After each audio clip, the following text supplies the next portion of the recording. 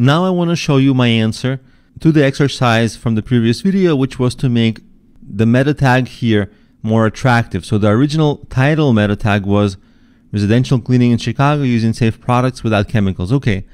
Now I have something like this. I just added the word sparkling just because it will stand out.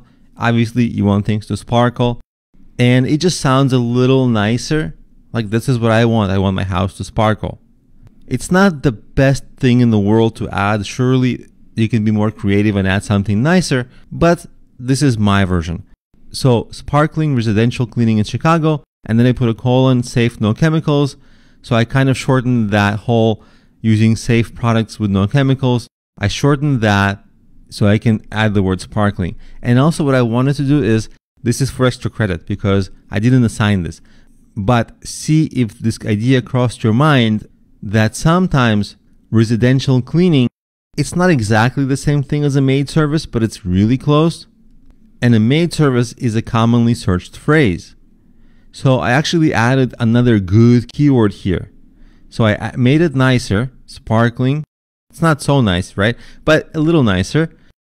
And then I added a strong keyword. So without the strong keyword, this is my version. It just sounds a little nicer. But this is for extra credit if the idea of using the term maid service came across your mind. And very often, if you type like cleaning services into Google Keyword Tool, it may or may not give you an idea for a keyword like maid services. But you see, this is a great example for when you should use more than just what the tool gives you. Because maid service isn't cleaning in terms of keywords, right? There's no keyword like cleaning in there, but it's also a similar service. So even if the Google keyword tool doesn't give you an idea for maid service, you've got to come up with keywords like that by just thinking further about it and approaching the situation from different angles. So that's the title. Now let's look at the description meta tag. Because I have more space here, I was able to try different things and how to make it sound nicer. So let's read it together.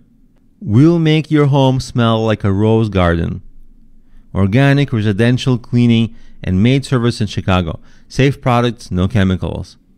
I mean, this is human, right? This is not keywords, but imagine you care about how your home looks and smells. This is pleasant to see. And that was the exercise in the previous video, just to make this read nicer. So now you have keywords and it reads in an attractive way to people. This is the best of all worlds when it comes to meta title tags and meta description tags.